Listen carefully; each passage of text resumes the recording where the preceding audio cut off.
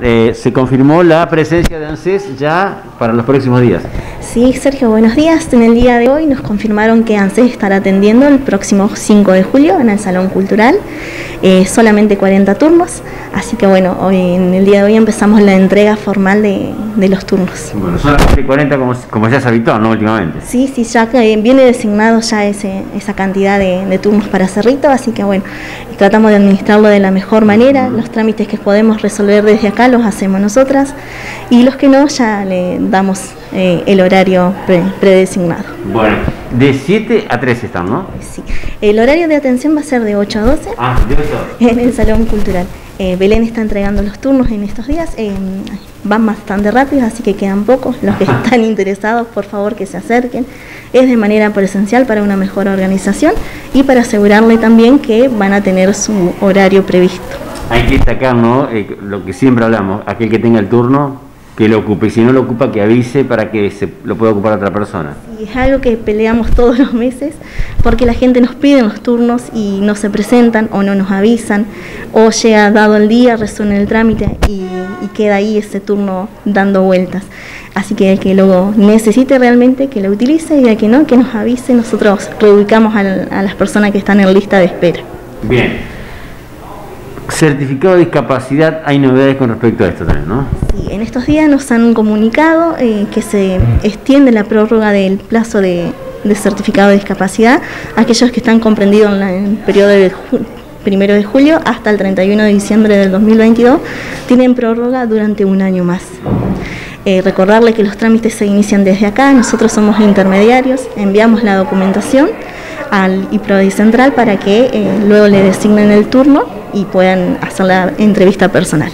Bien, eh, entonces deben acercarse aquí a la oficina como primer paso y fundamental. Exacto, sí, sí, nosotros les damos las planillas que deben completar, las planillas oficiales que deben completar por los médicos eh, de cabecera y luego nosotros terminamos de cerrar el trámite juntando toda la documentación y enviándola.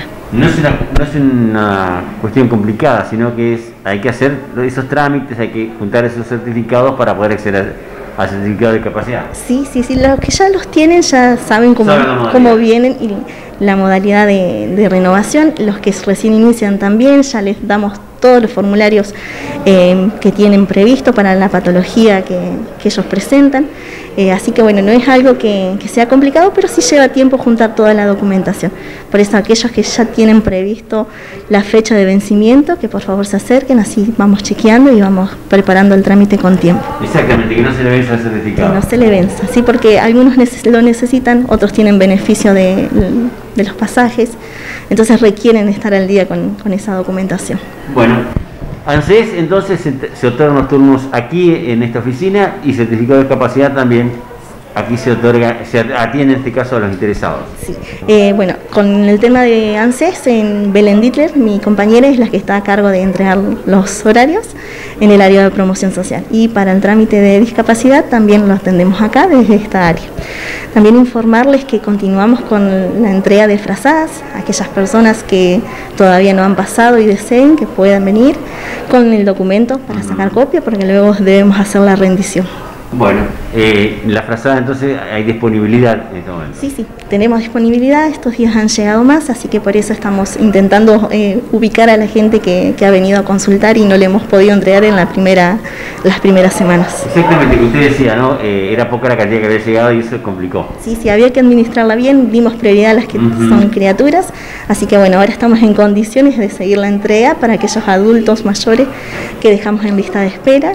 Eh, aquellas personas que por ahí no tenían una necesidad más inmediata, eh, también les vamos a estar entregando.